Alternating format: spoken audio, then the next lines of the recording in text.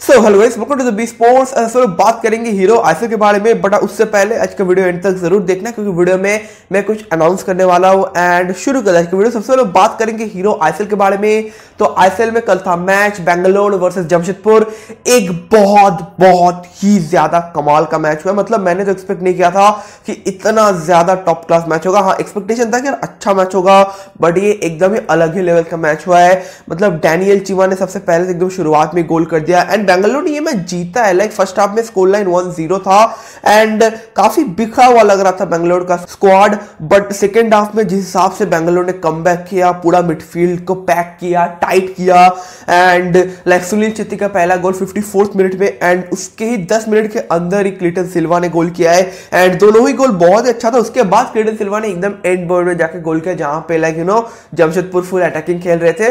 But हाँ वो भी गोल काफ़ी अच्छा था बट बेंगलोर का ओके अगेन लाइक हर एक मैच में नावरेम रोशन सिंह का परफॉर्मेंस इतना अच्छा है असिस्ट दे रहे वो। मतलब इंडिया को डेफिनेटली काफ़ी टॉप क्लास एक फुल बैक मिल चुका है, जिनका जो क्रॉसिंग एबिलिटी है एंड जो फ्री किक एबिलिटी है, दोनों ही बहुत ही कमाल का है एंड इंडियन प्लेयर्स के अंदर ये द एबिलिटीज काफ़ी कम ही देखने को मिलता है एंड कल अगर हम लोग देख ले तो ब्रूनो रेमिरेस का भी परफॉर्मेंस अच्छा था, जो कि लाइक यू नो हम लोगों ने उतना अच्छा सोचा नहीं था, क्योंकि अभी तक ब्रूनो रेमिरेस का परफॉर्मेंस उतना अच्छा नहीं था बट कल के गेम में ब्रूनो रेमिरेस का परफॉर्मेंस सेकेंड हाफ़ में काफ़ी ज़्यादा तगड़ा लेवल का था। फ़र्स्ट हाफ़ में थोड़ा सा शेकी था बट सेकेंड हाफ़ में उन्होंने हर चीज़ रिकवर किया है। एंड लिटरली हम लोग जिस लेवल का गेम एक फॉरेन प्लेयर से देखना चाहते हैं ब्रूनो रेमिरेस ने कल वैसा ही लेवल का गेम दिखाया है। ऑफकोर्स सुनील छेत्री का परफॉर्मेंस काफ़ी अच्छा था। सुनील छेत्री फिर से इन्फॉर्म आ चुके हैं। And currently like you know Ogbeche and Sunil Chhetri के बीच में ऑल टाइम टॉप स्कोर की लड़ाई अभी चल रहा है, दोनों ने 49 गोल स्कोर किया है but of course like Ogbeche ने कम मैचेस खेला है सुनील छेत्री से। And like again like Sunil Chhetri अभी जो फुटबॉल खेल रहे हैं, वो देख के बहुत ज़्यादा अच्छा लग रहा है। उदांता सिंह का गेम धीरे धीरे इंप्रूव हो रहा है। दानिश फरूक एंड सुरेंद्र सिंह मौजम इन दोनों ने खतरनाक लेवल का कॉम्बिनेशन बनाया था मिडफील्ड में। एंड इसी के कारण लाइक बेंगलोर ने मैच जीता क्योंकि फ़र्स्ट हाफ़ में हाथ थोड़ा सा शेकी लग रहा था। मिडफील्ड में वो गेम नहीं दिख रहा था, क्योंकि लाइक अटैक तो बेंगलोर ने फ़र्स्ट हाफ़ में भी बहुत किया है, वैसा बात नहीं है। बात यहाँ पे है कि वो मिडफील्ड का जो गेम है, जो बेंगलोर ने सेकंड हाफ़ में खेला है, वो फ़र्स्ट हाफ़ में वो नहीं खेल रहे थे एंड इसीलिए गोल्स नहीं कर पा रहे थे। एंड अगर हम जमशेदपुर का बात करें तो डैनियल चीवा पता नहीं कैसे ही मतलब यू नो जमशेदपुर में आते ही उनका परफॉर्मेंस काफ़ी हद तक इंप्रूव हो चुका है एंड देख के भी थोड़ा सा अच्छा लग रहा है। And Daniel Chima fifth ISL के फास्टेस्ट गोल कर चुके कल मतलब मैं ऑल टाइम का बात कर रहा हूँ, यहाँ पे 40 सेकंड 42 सेकंड्स के अंदर गोल हुआ है, जो कि अगेन काफ़ी अच्छा गोल था नो डाउट ग्रेक स्टीवर्ट का परफॉर्मेंस काफ़ी ज़्यादा तगड़ा था। एलेक्स लीमा ने कुछ कोशिश किया है एंड लाइक ओवरऑल इन दोनों प्लेयर्स ने कोशिश तो किया है but like Greg Stewart and Alex Lima ज़्यादा ट्राई कर रहे थे। वहाँ पर डिफेंस में नरेंद्र गहलोत का परफॉर्मेंस ठीक ठाक था, बहुत खराब नहीं था बट बहुत अच्छा भी नहीं था। Rehenesh TP as a goalkeeper like हम सबको पता है कि रेनेस टीपी थोड़ा सा उनका कंसेंट्रेशन का प्रॉब्लम है तो इसी के कारण पता नहीं, थोड़ा सा कभी कभी शेकी लगे मुझे। एंड एलिसाबिया का परफॉर्मेंस भी एवरेज ही था। एंड लाइक ऐसा नहीं कि जमशेदपुर ने खराब खेला बैंगलोर ने जमशेदपुर से भी ज़्यादा फुटबॉल खेला है बेटर एंड इसीलिए जीता है कल का गेम एंड जो भी देखते कि नेक्स्ट मैचेस में दोनों टीम्स का परफॉर्मेंस कैसे रहता है? सर बात करते हैं आज के मैच के बारे में। तो आज का जो मैच है वो Chennai FC versus Mumbai city FC एक बहुत ज़्यादा इंपॉर्टेंट मैच क्योंकि लाइक अगर हम लोग दोनों टीम्स का पॉइंट्स में पोजीशन देख ले तो करंटली मुंबई सिर्फ़ सी सिक्स पोजीशन में एंड चेन्नई सेवन पोजीशन में। एंड अगर दोनों टीम को टॉप फोर में जाना है तो ये मैच उनके लिए जीतना बहुत इंपॉर्टेंट होगा।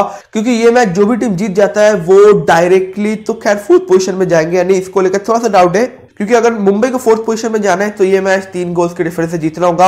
एंड चेन्नई के लिए फोर्थ पोजीशन में जाना थोड़ा सा मुश्किल है बट जीतना इंपॉर्टेंट है, ताकि पोजीशन में इंप्रूव हो। एंड जमशेदपुर का भी पॉइंट 22 है, जो फोर्थ पोजीशन में currently and Mumbai and Chennai दोनों का करेंटली 19 पॉइंट्स है। तो अगर दोनों में से कोई भी एक जीतता है तो उनका 22 पॉइंट्स हो जाएगा। गोल डिफरेंस हो सकता है बट एटलीस्ट आप पॉइंट्स भी इक्वल कर लो। उसके बाद गोल डिफरेंस बाद में देखा जाएगा। बट यहाँ पे बात वही पे आ जाता है कि मैच होने वाला है बहुत ज़्यादा टक्कर का, क्योंकि लाइक मुंबई ने ATK Mohun Bagan case में ड्रॉ किया लास्ट मैच चेन्नई को एक कम करना है। मैं मानता हूँ चेन्नई ने अच्छा खेला है। बट चेन्नई को भी एक स्ट्रॉन्ग कम करना होगा क्योंकि लास्ट मैच चेन्नई का भी वैसा कुछ बहुत खास था नहीं। उन्होंने ईस्ट बंगाल के केस में ड्रॉ किया था। एंड इसी के कारण लाइक अभी और वो पॉइंट्स लूज नहीं कर सकते। अभी वो ड्रॉ का वो जो रास्ता है, वो खत्म हो चुका है इन दोनों क्लब्स के लिए। उनको जीतना ही पड़ेगा ताकि वो टॉप फोर में जा सके। एंड लाइक अगेन मुंबई का डिफेंस थोड़ा सा वीक है। शेकी है वहाँ पे।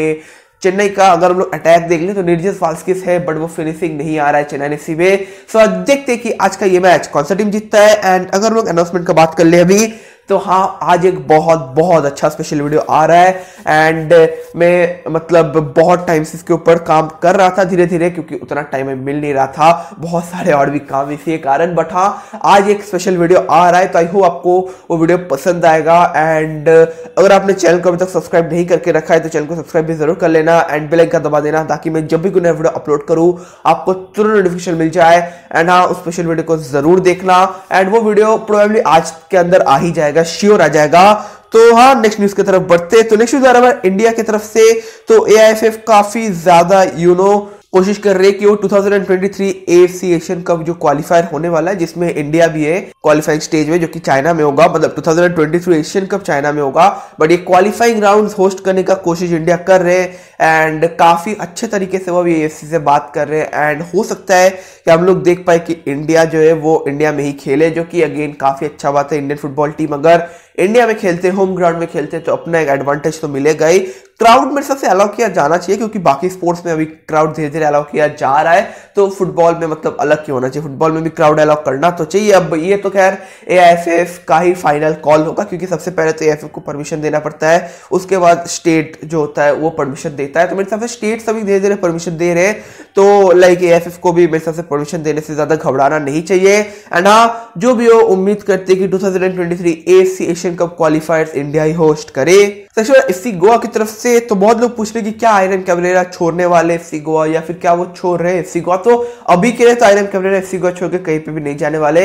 बट हाँ नेक्स्ट सीज़न में अभी तो खैर गोवा का मैनेजमेंट का कोई प्लान नहीं है कि उनको आयरन कैबरेरा को रखना है अपनी टीम में, क्योंकि उस लेवल का परफॉर्मेंस नहीं है। परफॉर्मेंस काफ़ी बिल एवरेज है, काफ़ी शेकी परफॉर्मेंस है उनका, काफ़ी स्लो परफॉर्मेंस है उनका। मेन जो प्रॉब्लम है ना एफसी के स्क्वाड एक पेस के साथ ऑपरेट कर रहे हैं and like George Ortiz Mendoza अभी अगर हम लोग ब्रांडेड फ्रेंड सबको देख ले तो उनका एक अलग पेस है आयरन कैबरेरा का एक अलग पेस है। वो जो पेस से ऑपरेट कर रहे हैं आयरन कैबरेरा उसके आधे पेस से ऑपरेट कर रहे हैं। इसी के कारण बहुत ज़्यादा एक बड़ा प्रॉब्लम क्रिएट हो रहा है। एंड ऑफकोर्स लाइक मैंने तो जब ये साइनिंग हुआ था, तभी बोल दिया था कि अभी के लिए गोवा का ये साइनिंग उतना इंप्रेसिव नहीं था, क्योंकि ऑफ़ कोर्स आईसीएल का स्टैंडर्ड काफ़ी ज़्यादा बढ़ चुका है। एंड आयरन कैब्रेरा का रिसेंट फॉर्म अच्छा नहीं था, बिल्कुल भी। दो साल से उनका फॉर्म अच्छा नहीं था। तो रीसेंट भी नहीं काफ़ी टाइम से वो स्ट्रगल कर रहे थे एंड आप एक वैसे प्लेयर को ला रहे हो जहाँ पे आपको पता है कि आपको एक स्ट्राइकर का काफ़ी ज़्यादा ज़रूरत है क्योंकि गोवा का जो स्ट्रेटेजी है उसमें एक अच्छा स्ट्राइकर का होना मतलब काफ़ी काफ़ी ज़्यादा एडवांटेज मिलता है एंड एक अच्छा स्ट्राइकर का ना होना मतलब बहुत बड़ा डिसएडवांटेज मिलता है। सो so, आपके पास कोई प्रॉपर वैसे इंडियन स्ट्राइकर नहीं है मतलब ठीक है देवेंद्र मुर्गा का करेंटली सीख रहे हैं एंड वो धीरे धीरे इंप्रूव करेंगे बट एक प्रॉपर एक्सपीरियंस इंडियन स्ट्राइकर नहीं है। तो यहाँ पे मेरे हिसाब से एक एक्सपीरियंस स्ट्राइकर को अगर वो लाते, क्योंकि ऐसा नहीं कि गोवा के पास बजट का प्रॉब्लम था, नहीं, गोवा ने गुन चिन के दो ही प्लेयर्स का साइनिंग किया है तो वहाँ पे बजट का कोई इशू नहीं था गोवा का, क्योंकि हम सबको पता है कि गोवा के मैनेजमेंट के पास अच्छा खासा फंड्स था, उन्होंने कितने सारे प्लेयर्स को सेल किया रिसेंट टाइम में, हम सबको पता है, यहाँ पे कोई बोलने का ज़रूरत नहीं है।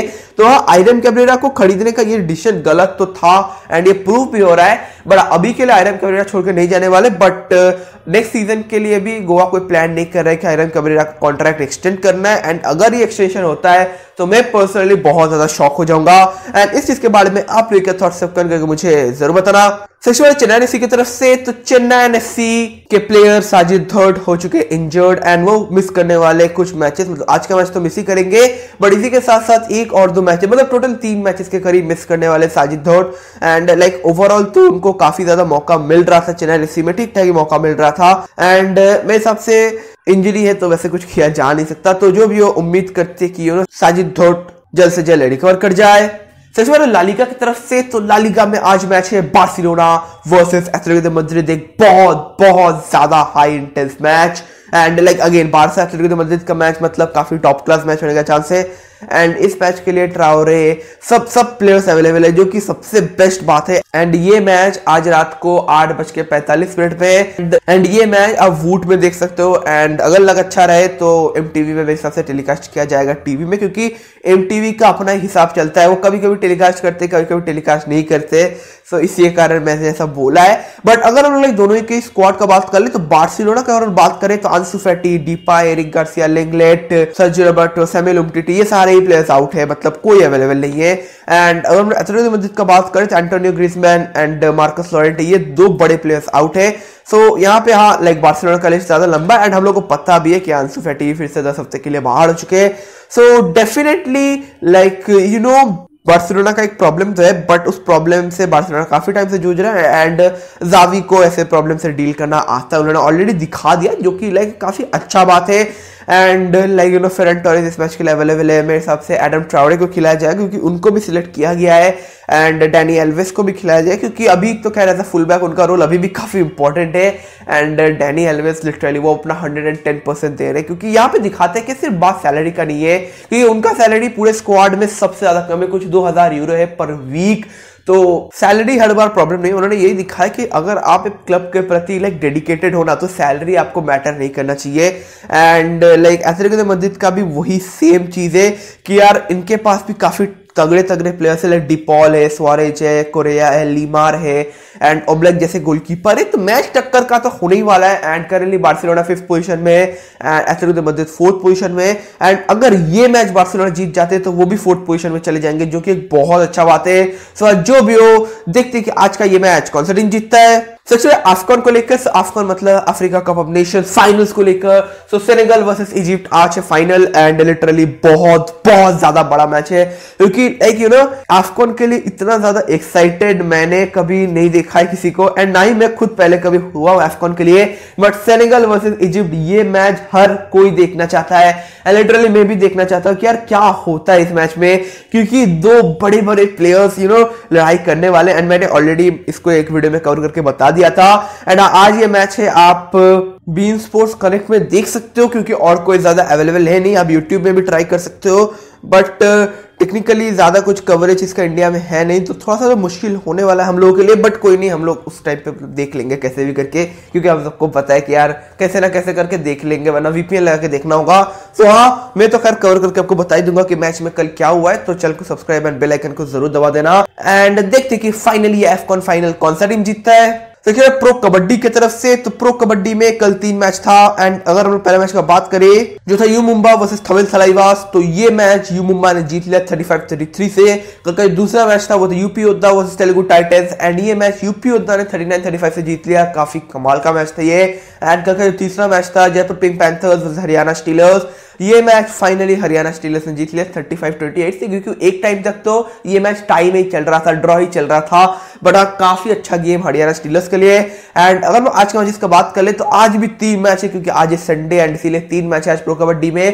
पहला मैच है Patna Pirates versus Bengal Warriors दूसरा मैच है Bengaluru Bulls versus Gujarat Fortune Giants या फिर Gujarat Giants to be precise actually and तीसरा मैच है Haryana Steelers versus Puneri Paltan so काफ़ी टक्कर वाले मैचेस है आज एंड काफ़ी इंपॉर्टेंट मैचेस है. सो आज जो भी हो, देखते ही यू नो प्रो कबड्डी में आज का दिन कैसे जाता है?